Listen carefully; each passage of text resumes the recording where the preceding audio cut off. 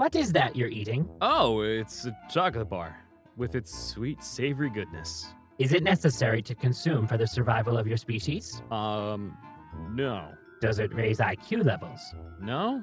Does it help you lose weight? Is it healthy for you? No, the complete opposite in that fact. So, what you're saying is you're eating a chocolate bar, which is unhealthy for you and makes you gain weight.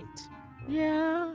Why? It's my cheat day. Chocolate tastes good. It's also poisonous for some animals like dogs. Why does it exist? Why don't you just try some? In the name of science! Arr! So? Human, I will need all the chocolate you have in your possession. From the scientific research, of course. Human, this is a stasis pod. It has some similarities to your beds back on Earth. Oh, cool!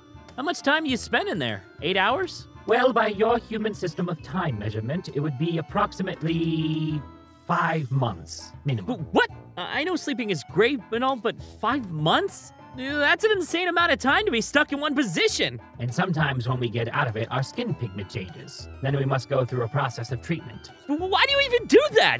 You don't seem to ever get tired. We just do it because. because we. because we just like it. I'm going back to Earth.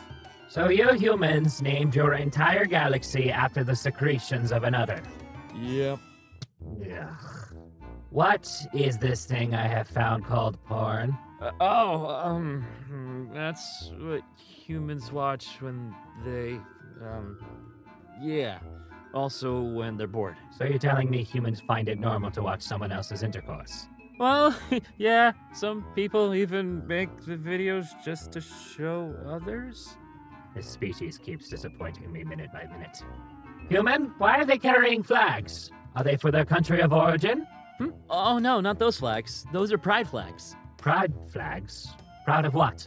Well, it's sort of complicated, but the basic idea is that the flags these humans are carrying represent their gender or sexuality. That one's non binary, that one's lesbian, that one's pan, that one's asexual. Oh, you have those too! Yeah. How do you treat them in your culture? No different than anyone else. They're free to love and be whoever they are as long as they're not hurting anyone. What's that flag you're carrying? Oh, this is an ally flag. This means I support these humans. That implied there are some that don't. Sadly, yes. Okay, how bad is it? Well, remember that racism and sexism thing I was telling you about last week? You're not telling me humans have been killed over this. You are one fucked up species. What are you listening to, human? Is it music? No, it's someone else reading a creepypasta. And that is. What is it? It's a scary story from the internet. Some people even listen to them while they sleep. What is wrong with you?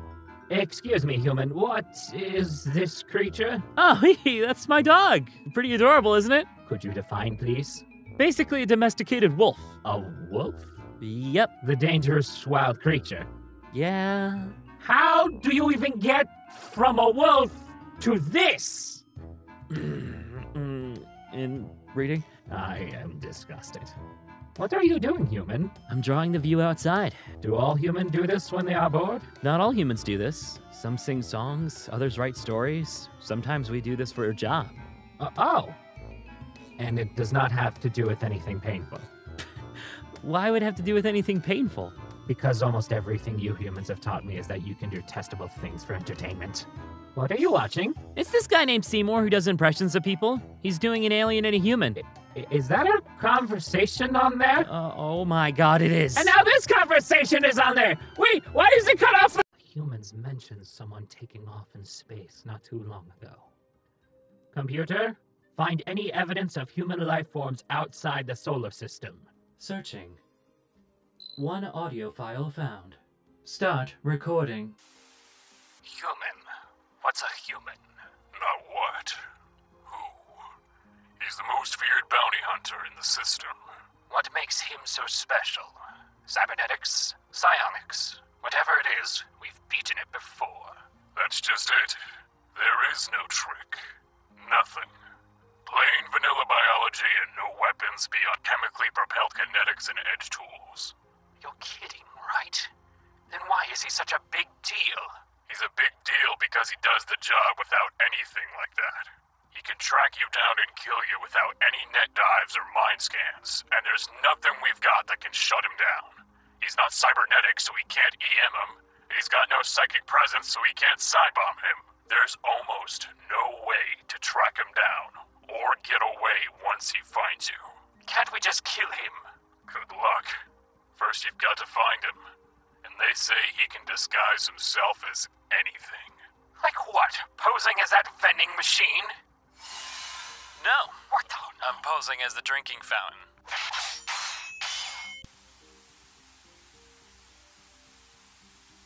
And recording. Absolute barbarians. This incredible short story was written by Impala Lord. Check him out on Tumblr. They do some amazing stuff with the space orcs genre. You humans are strange, you know that? You have all of this technology, but you're so primitive. You can travel worlds, turn a dead husk into a vibrant oasis, and you still use the tools you used when given at birth. Not to mention your short lives. But I think that's why you've lasted so long in this cutthroat universe. You live for the moment.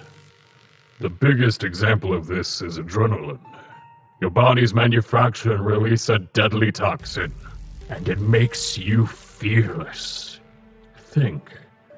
This causes some horrible problems. It can kill you.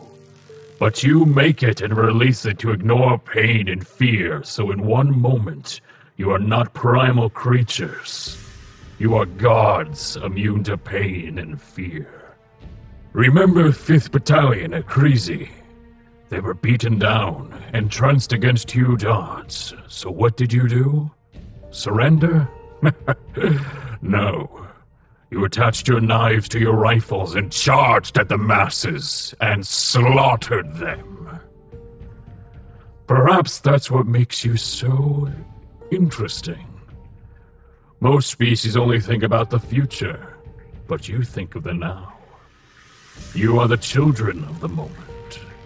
No matter what happens, you can make actions of unimaginable bravery. Forget all fear because of your primal connections to adrenaline. We Axel could do with some ourselves.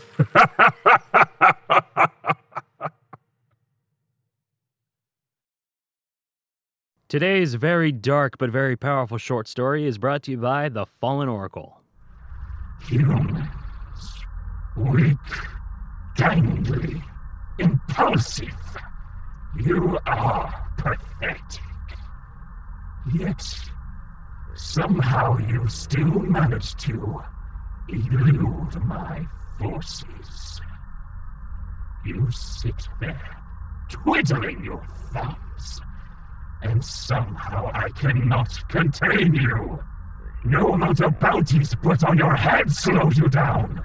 One day you're over on the moon of Jod, then the next you're on Jod. How do you do it? What is it that allows you to be one step ahead of us all the time? What is it? This human has been beaten, his body now broken beyond reason. His face is unrecognizable through the blood and swollen eyes. Missing teeth and a cut tongue plague his speech. His arms are so bent and warped in places too horrible to think about. His legs have already been torn from his body, the wounds staunched with sauntering irons. He speaks only a single sentence. I know you won't kill me. You dare think that? Is that a bet? God, kill his second offspring! No! Don't do that. I'll, I'll tell you what I know. Hold that thought. All right. Spill, you little hot knack. It's called intuition. It comes with a brain. You could use one. The alien creature roared, his rage beyond his control. The Igrelnik plunged his clawed hand into the bloody flesh of the human. Blood poured over his claw as the light faded from the eyes of this human. Sir, what? The humans escaped. One life pod has been launched. No! Never underestimate the power of intuition. For a human will sacrifice himself to save the others. Today's short story is brought to you again by the Impala Lord. Check him out on Tumblr. Ever since the first of us looked up through the waves, we wanted to go to space, to see the stars and touch them. It's a childish thing to want to go out among them, sailing the black waves. But everyone knows that it's impossible. Every species that has ever existed has come to the point where they realize that space travel is impossible. Existing in space is something that no species is capable of doing, and they give up. On Kellyan, to be a dreamer is pejoratively known as thinking of star stuff. Every species knows that space travel is impossible. Every species, except one. They gird themselves in steel and fibers made simply to keep them alive. They wrap themselves in waste recycling units and breathing apparatuses. They create machines so large they seem like mountains of iron sitting upon great treads, all to transport their secret to space travel. The thing they use to go out among the stars? A rocket. A great, massive weapon aimed not at terrestrial enemies or used for bursting into colors so many like Life Day celebrations. No. They strap themselves into those nose cones of rockets, take aim at the endless eternities, and fire. Where other civilizations have stopped, seeing madness and suicide, they saw endless possibility. We only saw the endless eternities. And that was what it was to us. That is why we never became a spacefaring race. No one did. No one except these brave fools.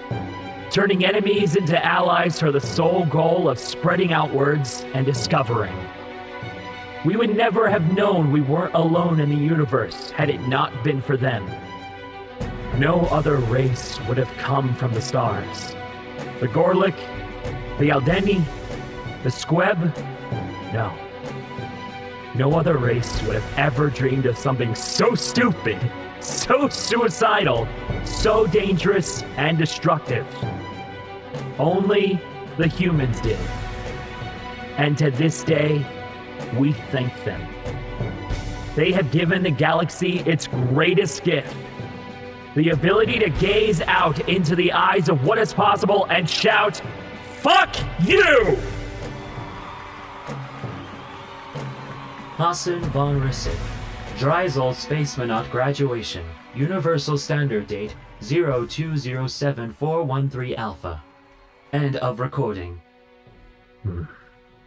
So these barbarians really do contribute more to the universe than I thought. Fascinating.